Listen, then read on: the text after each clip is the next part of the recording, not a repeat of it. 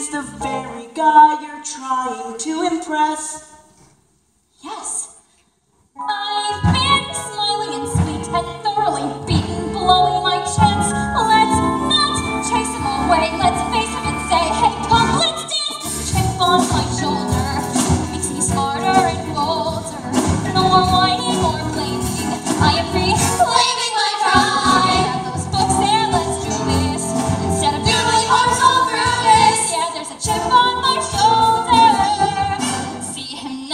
Mr.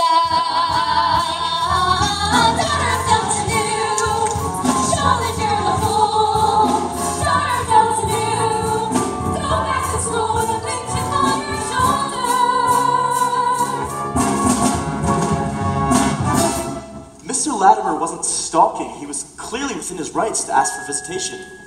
Russell versus Sullivan. Yes, but Russell was known to the mother. Latimer was an anonymous donor. Well, yeah, but without Mr. Latimer's sperm, the child in question wouldn't exist. Now you're thinking like a lawyer. Yes, Miss Woods. Mr. Huntington makes an excellent point, but did the defendant keep a log of every sperm emission made throughout his life? Interesting. Why do you ask? Well, unless the defendant attempted to contact every sexual encounter to see if a child resulted from those unions, he has no parental claim over this child whatsoever.